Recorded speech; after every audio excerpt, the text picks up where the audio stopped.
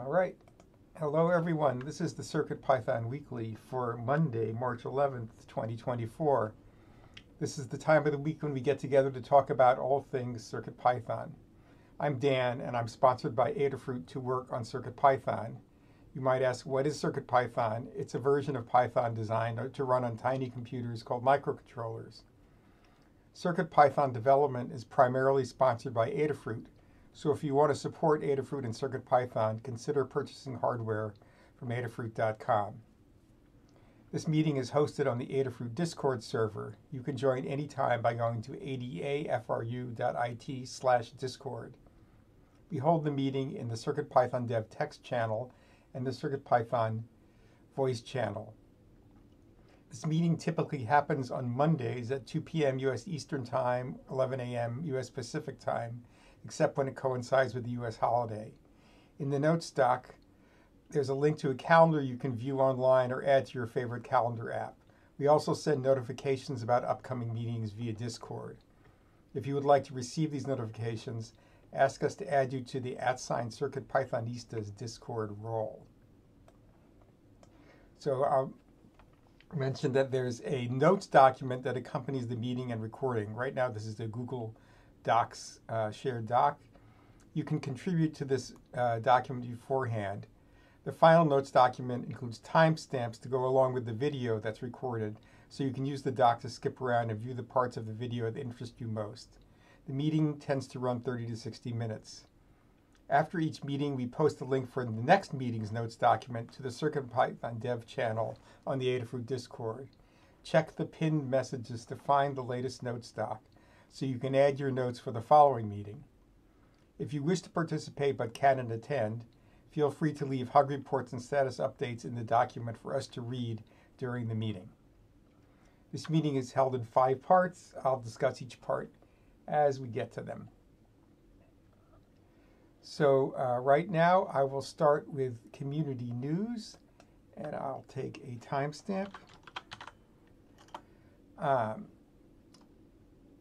and I'll remind you that these uh, news items come from the, the, Python and Microcontrollers newsletter, which is published every Monday, um, edited by uh, Anne, who's in the um, discussion right now, who's in the, the chat right now, and um, I'll talk to more you more about the newsletters after I read the item. So the first top item is that CircuitPython 9.0 release candidate 0 is now out. Uh, this release is believed to be stable and is meant for testing before the final release of 9.0. You can see the blog post about the release in uh, the Adafruit blog. You can also look at the release notes on GitHub, and there's also um, it's been uh, pasted uh, into uh, the CircuitPython dev and help with CircuitPython channels also as of last Thursday evening. Uh, we know of some bugs in 9.0 release candidate zero, and we'll talk about that later. Um, next item is uh, a Back to the Future uh, style time circuits display, which is uh, showing up in the um, chat. Thank you very much. Um, this was done uh, by somebody with CircuitPython and has dial and time settings now. And you can read, there are links in the notes document um, and in Reddit and on Tom's Hardware about this. Looks really nice. Uh, next item is a new book called Build Your Own Rob Robot using Python, Crickit, and Raspberry Pi. Um, this is a book uh, published by Manning by Marwan Alsabbagh, and it's coming out March 12th. That's tomorrow. There are links in the notes document. Uh, the um, link on the publisher's website is especially helpful. It shows a lot of uh, what you can see inside the book. Um, Crickit, if you don't know, is Adafruit's um, there are several boards called Crickit that uh, let you control motors and things like that easily, motors and servos, etc., easily from CircuitPython or Arduino or whatever, and in a variety of form factors. So this looks really nice. And now I'll mention that these uh, things come from the Python and Microcontrollers newsletter, which is run a Circuit Python community run newsletter emailed every Monday. The complete archives are at adafruitdaily.com. Uh, this newsletter highlights the latest Python and hardware related news from around the web, including CircuitPython, Python, and MicroPython developments.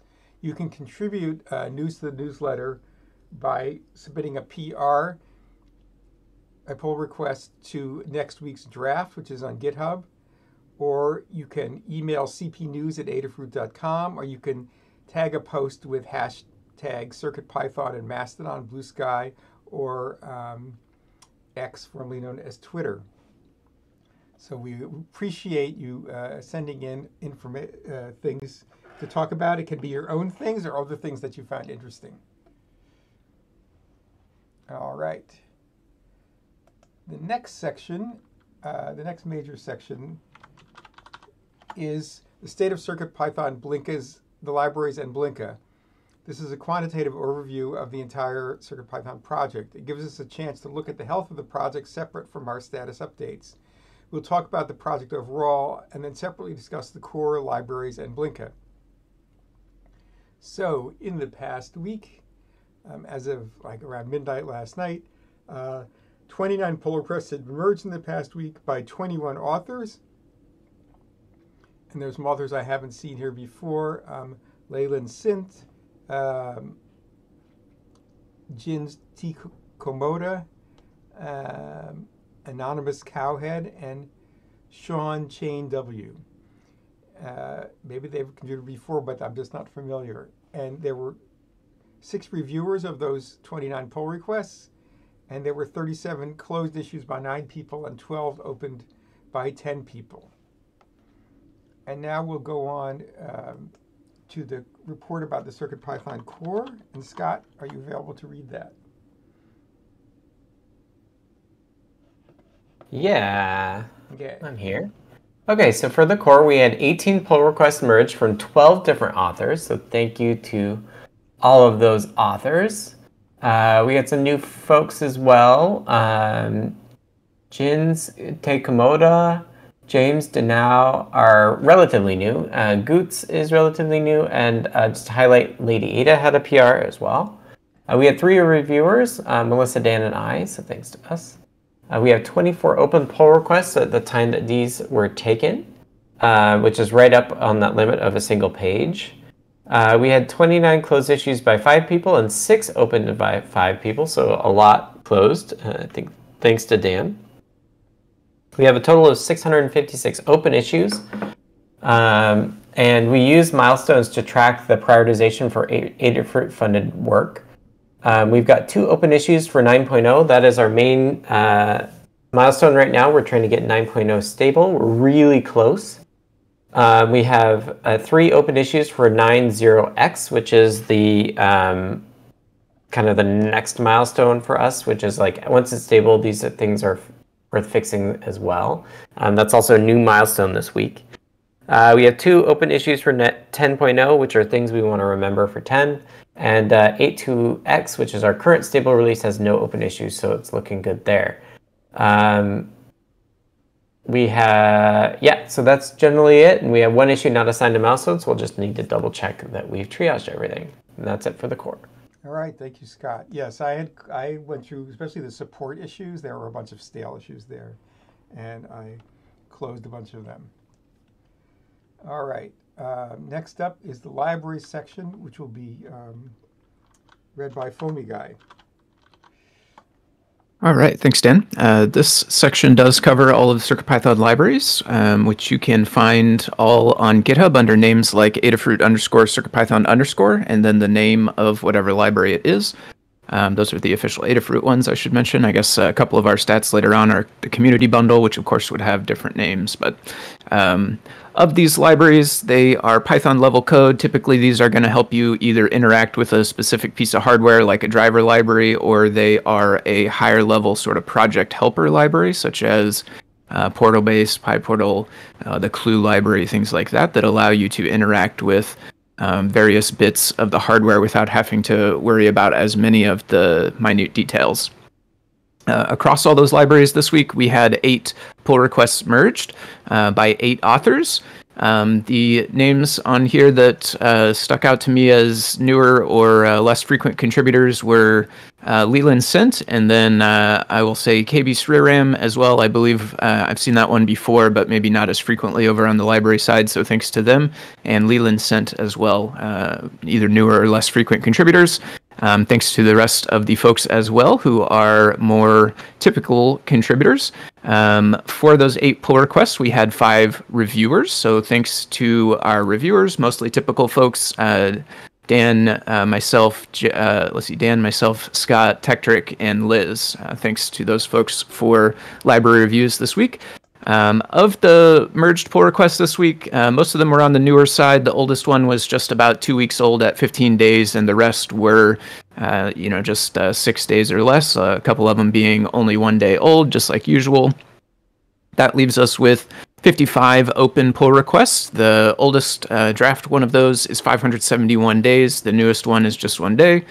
Um, over the past seven days, there were six issues closed by five people, uh, with six new issues opened up by five people. So uh, staying net equal there on issues. That leaves us with 740 open issues across all these libraries. And of those, there are 19 of them that are labeled as good first issues, uh, which you can find over on circuitpython.org slash contributing, which is where you should head if you are interested in contributing to CircuitPython on the Python side of things. Um, you'll find a list of open PRs as well as open issues. If you're looking to contribute, that's a great place to start. Uh, if you want to get started with reviewing uh, first, you can check out the list of open PRs, take a look at the code. If you've got hardware, test it out. Otherwise, just look at the syntax, spelling, uh, comments, things like that. Leave a comment on the GitHub PR. Let us know that you looked at it. And once you found, uh, once you get comfortable with that, we can level you up to leave uh, official reviews over on GitHub. Um, if you are interested in actually getting your hands dirty with coding, you can take a look through the open issues. Um, you can sort by labels on the open issues, including that good first issue label. Um, on those issues, you can take a look through the list, find something that you've got hardware for, and uh, you know to, to you know add whatever feature it is or fix whatever bug it is that the issue uh, notes. Um, we know that this process can be daunting to folks that are new, so we've got guides for contributing with Git and GitHub, and those are over on the Learn system. We've also got folks on the Discord who are around all the time who are willing to help you if you are trying to get started and need help. So uh, let us know over on the Discord if you are having trouble. Uh, take a look through the guides. We want to make sure that everyone can contribute, uh, no matter what level of skill that you've got. So we're happy to help out. Um, in library uh, PyPI stats for the week, we had 117,506 PyPI downloads across the 325 uh, total libraries. The top 10s list is here in the notes doc if you'd like to take a look through those. And then for updated libraries this week, it looks like uh, OAuth 2 and Template Engine are the uh, two listed here. Um, and that's what we have this week in library land. Thanks. All right, thank you, Tim. Okay, next up is um, Blinka and I'll be read by Melissa. Hello. So Blinka is our CircuitPython compatibility layer for MicroPython, Raspberry Pi, and other single board computers. And this week we had pull, three pull requests merged by two authors and one reviewer. That leaves a uh, leaves six open pull requests amongst all the repositories. There were two closed issues by one person and zero open by zero people, leaving a net of 83 open issues. There were 12,496 PyPI downloads in the last week, 11,775 piwheels downloads in the last month, and we are 129 boards. And that is it. All right, thank you very much. All right, uh, next major section is Hug Reports. I'll take a timestamp. Um, Hug Reports is a chance to highlight folks in the CircuitPython community and beyond for doing awesome things. I'll start and then we'll go down the list alphabetically to give everyone a chance to participate. If you are text only or missing the meeting, I'll read your notes when I get them to them in the list. So as I said, I'll start here, take another timestamp. Um, thanks to Salam Citron and Retired Wizard who found issues with uh, the 900 release candidate zero, and we're, one of them has been fixed, and we're working on the other one. And thanks to Just Mobilize and Bablock B, who have been working on Adafruit requests and thinking about ideas about how to improve some aspects of it right now. Um, next up is C. Grover. Um, I'll read theirs. Uh, thanks to Rob Cranfill on GitHub for catching a documentation error in the Wave Builder and Wave Storage repos, and a group hug. And next up is uh, DJ Devon. Uh, thank you. Uh, this week, I have hug reports for Anecdata for helping troubleshoot an Adafruit requests out of retries error handling issues that I failed to account for. Uh, catching the error and reloading provides a new pool of retries until an inevitable successful connection uh, can be made. So thank you for looking into that issue. And that just means that um, any script that you have that runs 24/7 online with an API even if it fails, no matter how it fails, it'll just reload. Um, a hug report to Jerry N, Argon Blue, Bear, LP Kennan, and help with CircuitPython Discord for their help with parts of Adafruit ATEC crypto module and general Python syntax help. A lot to learn from their collective help. And a hug to Foamy Guy for a series of streams on the M5 Stack Cardputer this weekend. It was highly informative on how to port a new device that has a built-in keyboard. And that's it. Thank you. All right, thank you. And uh, next up, we have uh, Tim or Foamy Guy. All right, thanks, Dan. Uh, hug reports for me this week. Thanks to Retired Wizard uh, for running with the start that I made on the M5 Cardputer uh, key scanning library, making some improvements to that, as well as sharing a project that has successfully hooked it up to uh, the REPL, which is really cool. Uh, thanks to C. Darius on GitHub for submitting a PR to add support in the core for the uh, demuxed row pin wiring that the Cardputer has on its keyboard, uh, although I don't know if that's the right term.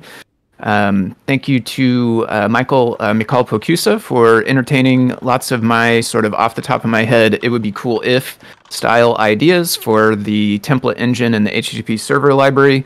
Uh, most recently, with some very fancy error messaging for the template engine that makes it really easy to figure out where any syntax errors in your template are. Uh, but there have been a fa- handful of other things that I have kind of wished for and have come true uh, thanks to them. So thank you for that. Um, thanks to Tyeth uh, for working last week on the Circup uh, web workflow support branch. And uh, finally, thanks to Argon Blue on Discord for reporting an issue over the weekend uh, for Discord moderation. Appreciate it. Thanks. All right, thank you. And next up is um, Jeff. Hello, uh, I have a group hug, and uh, to be more specific about that, um, I looked up the number of people who have authored commits uh, from the 8.2.x branch up to 9.0.0 RC0 and that includes contributors to MicroPython, there's a list of 351 author names. Some of those are spelling differences, some of those are bots, but that still means there's like over 200 people and probably over 300 people who have contributed to this moment that we've gotten to of uh, CircuitPython 9, and that's really exciting. And I just I, I'm thankful to every one of them that they helped us out. All right, thank you, Jeff. That's those are very interesting numbers. And next up, we have Jerry. Uh, group hug to everybody. Nice to be here. Thank you, Jerry. And next up is Justin. Yeah, also just a group hug. I've really just been enjoying working with all the people here. It's a great uh, community. All right, thank you. And now uh, we've got Maker Melissa. I wanted to give a hug to everybody who's added boards to CircuitPython.org. Uh, also, everyone involved in getting the release candidate of CircuitPython out, and to Jeff for the quick fix for the web workflow on SD cards, and a group to everyone else. All right, thank you. And uh, next, I'll read Retired Wizard's uh, contribution. Thanks to Foamy Guy for the Cardputer key scanning library he wrote on Saturday's live stream, st- stream, not scream, and a group hug. And finally, uh, Scott will round us out. Thanks, Dan. Uh, first, I have a hug to Austin, A. Appleby on GitHub, also Tangent on Discord, which is very similar to my name, which is funny. Um, for the Hancho build system, I saw this on Hacker News. It looks really interesting. It's meant to be a super simple build system that leverages uh, Python's async IO system to do building stuff. So I've been playing around with that. Um, hugs to Dan H for making the release candidate release. Um, hugs to KB Sriram for doing bitbangio fixes and including tests. And the tests include like a simulation, um, so you can actually like use Pulse View to see uh, what your code's been doing, which is very cool. Uh, hug to Liz for continued CircuitPython testing. She's uh, found lots of really uh, critical issues. And then everyone else who also has tested 9.0, it's it's great to be this like super close to the end, um, and uh, we wouldn't be here without folks finding all the problems. So thank you all. All right, thank you, Scott. Uh, next up, our major section is status updates. Um, this is our time to tell folks what we're up to individually. I'll start and we'll go through the list alphabetically as usual. Um, you can take a couple of minutes to talk about what you've been doing since the last meeting and what you'll be doing until the next meeting. You could also talk about any tips and tricks that are relevant to what people are working on. And if something turns into a discussion, we can always bring it to the to the in the weeds section if we want a more extended discussion. All right, so uh, as I said, I'll start. Um, I released CircuitPython 9.0.0 release candidate 0 last Thursday night. Um, there have been a couple of bugs. Um, there will be an RC1 uh, when we fix the current set of showstoppers, and we're going to update the frozen libraries again because they're constantly being updated all the time. Um, I fixed a race condition in uh, BLE scan entry processing, which was there for a long time and caused rather odd problems and sometimes storage problems. It definitely affected the NRF port and maybe also some other ports, but it was kind of a general problem. And I've been doing just a lot of reviewing and bug triage over the past week, uh, getting ready for uh, the release candidate and then following up on things. And I also closed uh, a bunch of issues, especially support issues, as that I've mentioned, that uh, got stale or were taken care of or we had no feedback on. All right, uh, next up, I'll read C. Grover's contribution. Um, electronics and coding projects were placed temporarily on hold when the home remodeling project commenced. Getting to solve some hands on problems such as, quote, is that eyebrow window outline a fractional tip of an ellipse or a radius arch, close quote, and how is the radius of a circle's arc determined if you only know the width and height of the eyebrow? Thank goodness it wasn't elliptical. Um, and then expecting to return to the Wave Story Wave Store library and the CG35 calculator projects next weekend. And next up is DJ Devon 3. Uh, thank you. Yes, I've also noticed that there's a lot of woodworking projects uh, being posted in the Circuit Python Discord, or in just in, in the Adafruit Discord lately. Uh, this week I finished the ST7796 display project that I was working on. and includes a custom Featherwing adapter, PCBs, and a 3D printed enclosure. And it took about two months to complete. There's a picture of that. Submitted a minor quirky PR for a code comment error in Adafruit HT16K33 Repo simple test.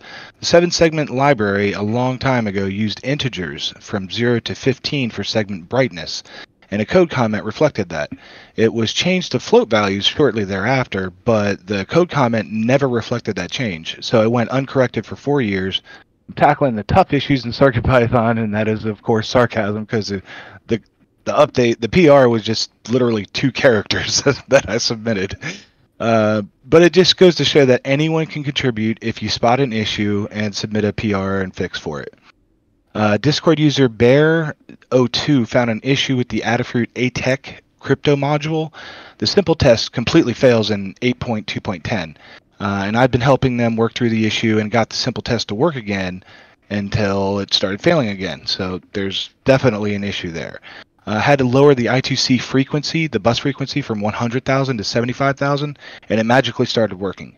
I have no idea what prompted that required change in frequency, the wake frequency is like a ping, and without the correct ping, the I2C module will never wake up to even function.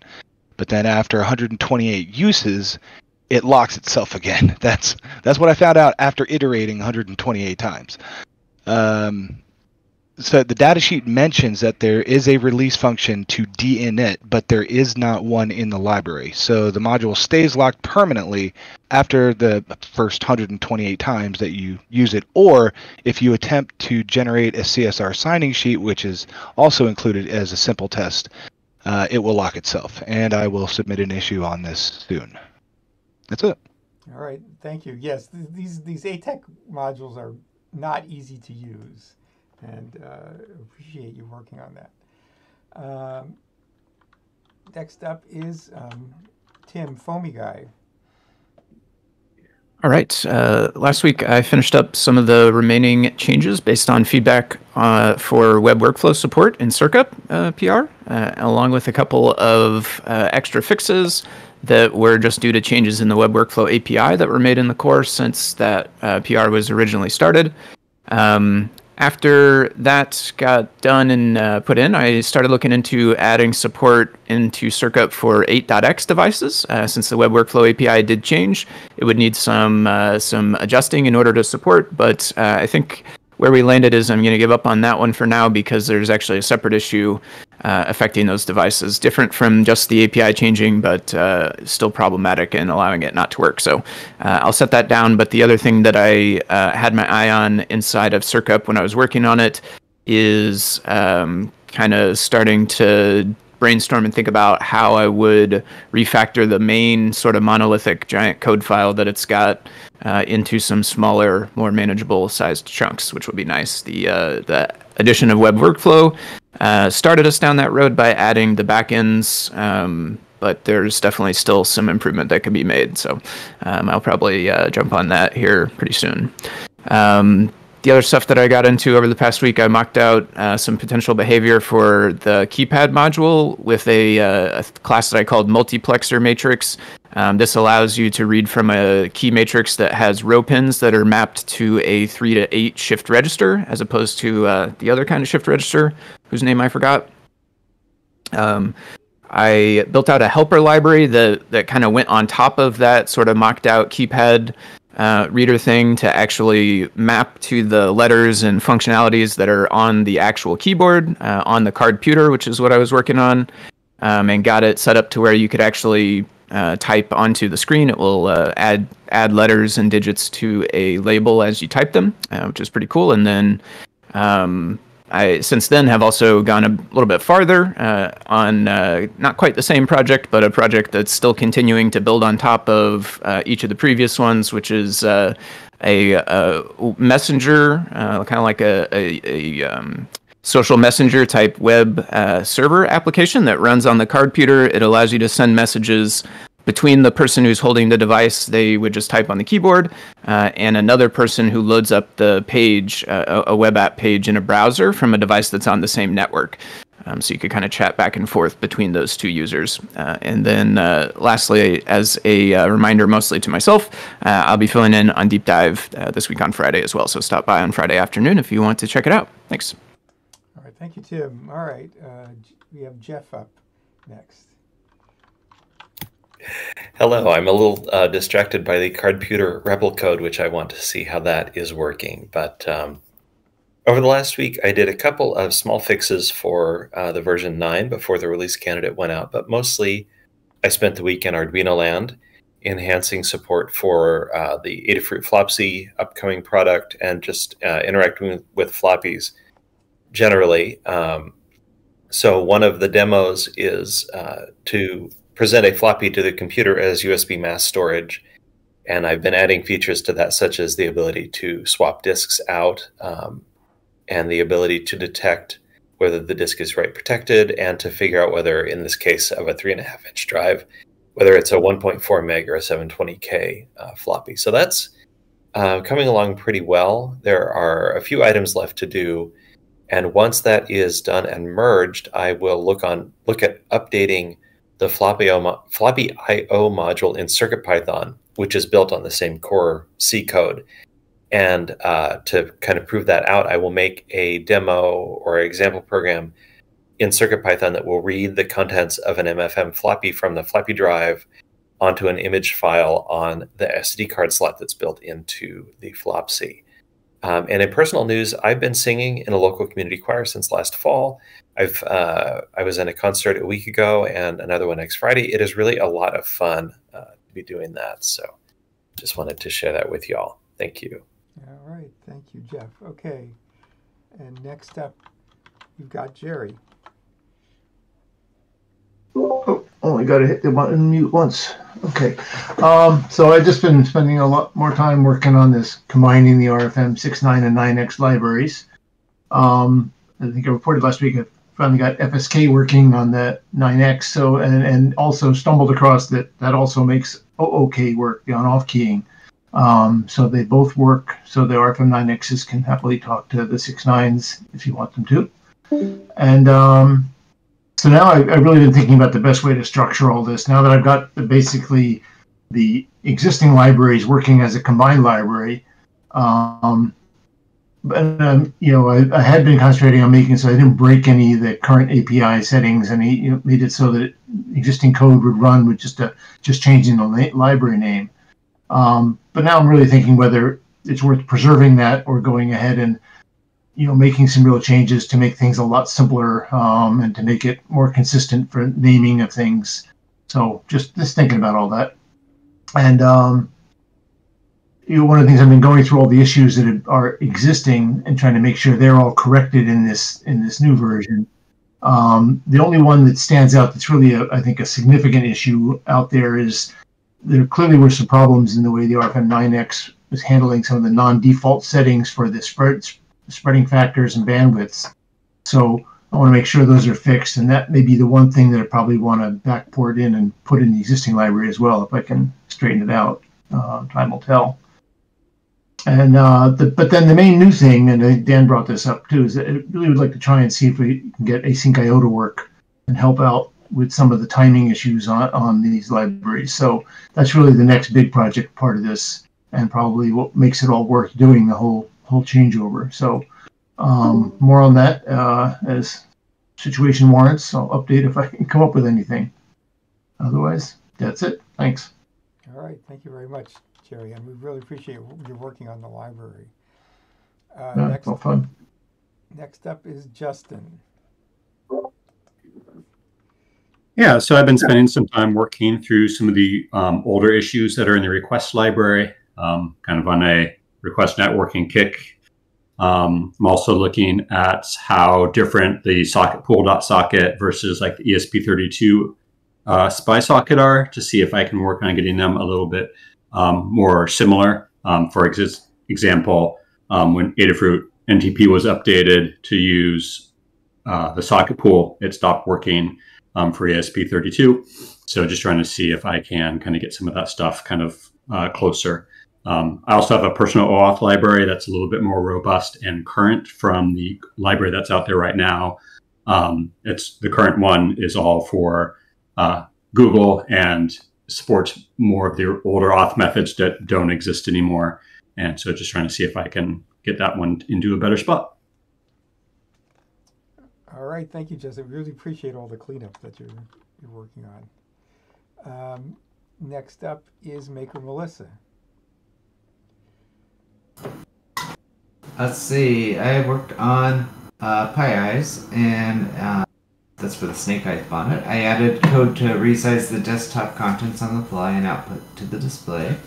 So that's sort of working. Um, I tested an issue with Slow SPI, uh, which is only occurring on the Raspberry Pi 5 and um, in on with the PyEyes in C, and that is, I, I submitted an issue to Raspberry Pi for that, and found a bug where it only grabs the Wayland desktop uh, when it, it first starts and not after that, so I'm gonna fix that soon. I also need to optimize some of the code so that we can get more frames per second, but at the moment I'm working on finishing up uh, a web workflow guide for uh, the Memento, and that's where I'm at. All right, thank you, Melissa. And next up, we've got Scott. Hello. So I'm out this Friday because Ari has no daycare, so we're going out of town for a long weekend. Um, I've been doing some bug fixing.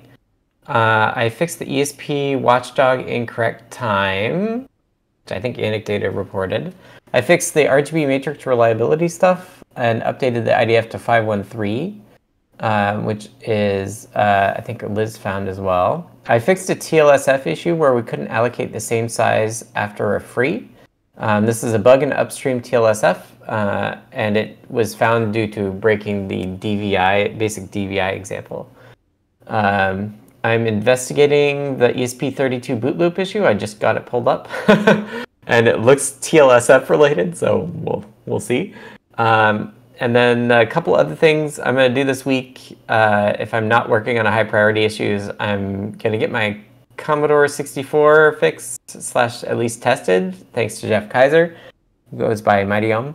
And I'm also uh, working on the Hancho build system um, as a replacement for Make in CircuitPython because it looks really interesting and Python's way easier to debug and understand. So I'm gonna see how far I can get with that in a couple days. Okay, thanks, Scott. That sounds interesting, an interesting possibility. Okay, and finally, um, I'll read todbot's uh, contributions. Tried making a palette generator slash color summarizer for JPEGs to return a ranked list of dominant, dominant colors, and it works-ish. It implements a simple color similarity detector to bin related colors. It takes about five seconds per image on an S3, that an ESP32 S3, I guess. And before that, a median slash mean image color uh, 2 uh, processor, which could be made much faster using some tricks from the above. Those both sound interesting, like maybe they could also be used for effects like posterizing or something like that. That's my comment. All right, so that's it for um, um, status reports. And we don't have anything for in the weeds uh, this week, unless somebody has anything to say. If not, uh, I'll do a wrap up. Take a timestamp. Um, so this has been the CircuitPython weekly meeting for Monday, March 11th, 2024. Thank you everyone who has participated. If you want to support Adafruit and CircuitPython, and those of us that work on CircuitPython, consider purchasing from the Adafruit shop at adafruit.com. The video of this meeting will be released on YouTube at youtube.com slash Adafruit, and the podcast will be available on major podcast services. Uh, the meeting will also be featured in the Python for Microcontrollers newsletter. Visit adafruitdaily.com to subscribe. Next meeting will be held next Monday as usual at 2 p.m. Eastern and 11 a.m. Pacific. I think that's right. Um, and uh, it's it, the meeting is held on the Adafruit Discord. You can go there by go, join by going to adafru.it slash discord. If you want to be notified about the meeting and any changes to the t- its, its scheduling, you can ask to be added to the at sign circuit Pythonistas role in Discord. So we'll see you all next week. Thanks everyone for attending. And I will stop recording now.